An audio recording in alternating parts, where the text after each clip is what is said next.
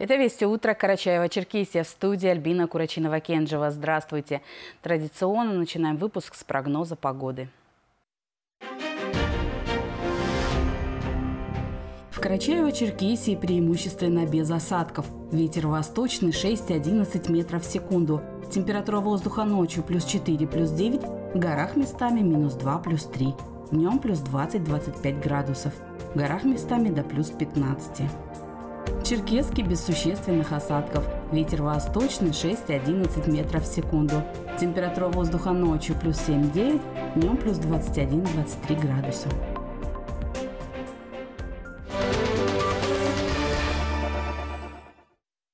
Одним из значимых событий празднования Дней Карачаева-Черкесии и ее региональной столицы стало открытие обновленной каскадной лестницы в парке «Зеленый остров». Участие в торжественном мероприятии приняли представители органов исполнительной и законодательной власти в республике и Черкеске. Танцы народов Карачаева-Черкесии стали символом единства людей, проживающих на этой земле.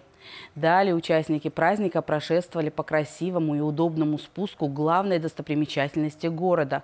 В парке культуры и отдыха их ожидали увлекательные детские игры и представления. Настало время нашей рубрики «Афиша». Мы подготовили для вас актуальные мероприятия в республике, а также новинки в мире кино. Что стоит посмотреть? Ловите подборку. Сегодня стартует конкурс «Лучший учитель родного языка и родной литературы 2023». Организационно-методическая встреча состоится на базе 19-й гимназии Черкеска, а торжественное открытие пройдет в амфитеатре на Зеленом острове. Конкурс будет проходить в течение пяти дней. Финал и торжественное закрытие состоятся в пятницу.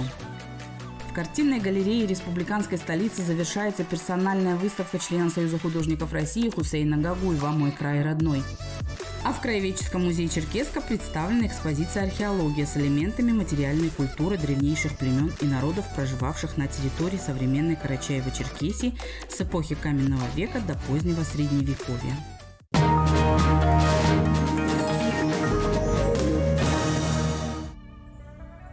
И о кино. Российская премьера «Я делаю шаг» о выпускнике педагогического института Саше Макарове, вынужденного после получения диплома вернуться в свой родной город и начать работать учителем литературы. Казалось бы, вполне обычная ситуация, но проблема в том, что из-за дислексии Саша с трудом может прочитать даже фамилии учеников в классном журнале.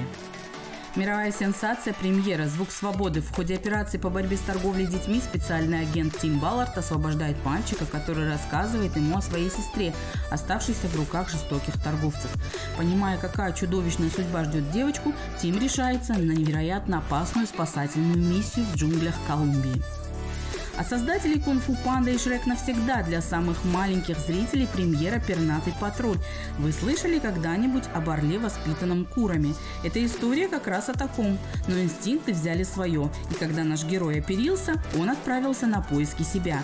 Невероятные путешествия привели его в Птицеград, где орел не только нашел своих родственников, но и новую цель – стать членом команды пернатого патруля. Впрочем, он еще не подозревает, что в городе зреет страшный заговор. На этом я прощаюсь с вами, а через несколько минут в эфир выйдет информационный выпуск на нагайском языке. Затем вашему вниманию будут представлены программы нагайской редакции. А в 14.30 смотрите «Вести» с Муратом Джанкезовым. Удачного продолжения дня и до встречи!